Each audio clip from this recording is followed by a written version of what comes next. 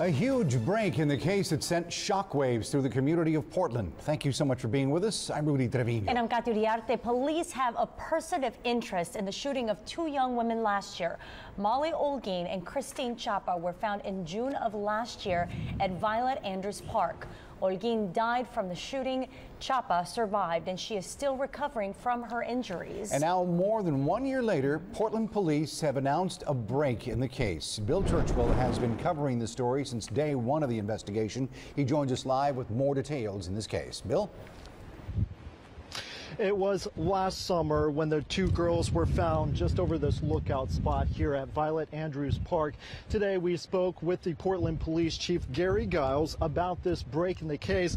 He confirms there is a person of interest. However, that person has not been charged yet. Now, it has been one year since the police department, along with the help of other agencies, have been working to figure out who shot the girls, killing Mollie Olgin and leaving Kristene Chapa on a long road to recovery after a bullet shattered in her head. Tonight, the police chief says one of the holdups in this case is that they continue to wait for evidence that they have sent off to crime labs throughout the year. It depends because we have we have evidence that's been sent out to several different crime labs. Some of the labs take a little longer than others. Some some of the labs uh, we're just waiting in a line.